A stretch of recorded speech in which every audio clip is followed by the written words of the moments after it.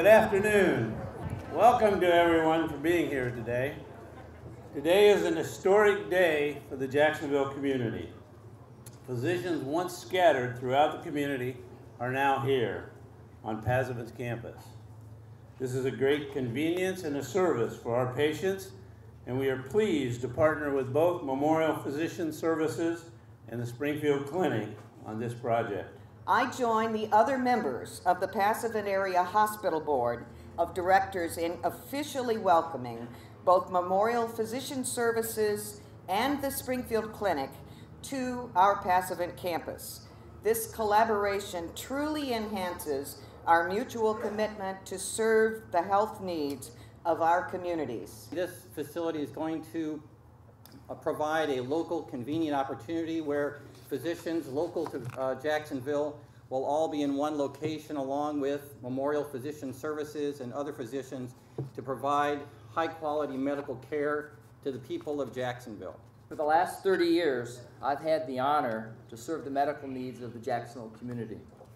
I'm grateful for the trust that many families in our community have placed in me and my colleagues, Memorial Physician Services, Jacksonville. It's a privilege to provide your healthcare needs. All of us at Memorial Physician Services are excited for the opportunity to serve the healthcare needs of the community within this new building. We have been currently in six separate sites across the city. Starting on June the 3rd, however, we're going to deliver the great care that you've come to expect in one convenient location here on the campus at Passavant Hospital. This is a great day for all the people of Jacksonville and greater Morgan County region. The three strongest healthcare organizations in our community have come together to build this state-of-the-art medical office building for one reason, to improve your access to safe, high-quality healthcare services. Thanks for your vision.